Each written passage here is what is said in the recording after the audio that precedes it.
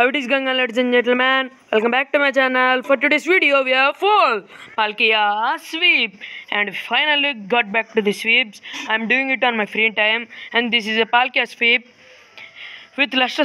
Wi- What Luster Orb does is it boosts the power of water and dragon type moves, abilities pressure which reduces P, P of opponents via water pulse. This moves at trash. Water pulse 60 base power, dragon breath 60 base power, ancient power 60 base power, wall pro dropping move. This is max special attack, max pit timid nature set. Okay, let's go into the battle. Actually, we have two battles.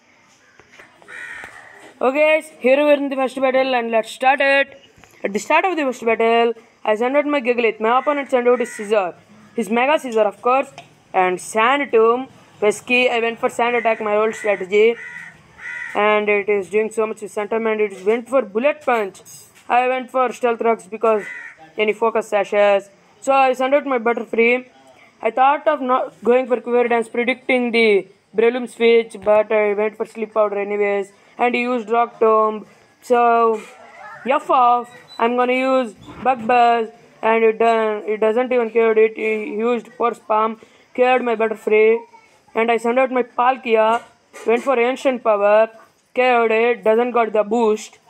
So he sent out his, his Carracosta without without Sturdy because Stealth Rocks broke it and I used Max Geyser and my opponent forfeited. Carracosta failed my opponent forfeited. Okay, let's go into the second battle. So here we are in the second battle, but let me switch sides. Yes, at the start of the second battle, my opponent sent out his Ferrothorn, I sent out my Gigalith, he used Stealth Rocks, he used Leech Seed. I thought, I thought, and I switched out into my Butterfree. He used Stealth Rocks as I predicted, so I went for Quiver Dance, and he went for Knockoff, which exactly done 50%.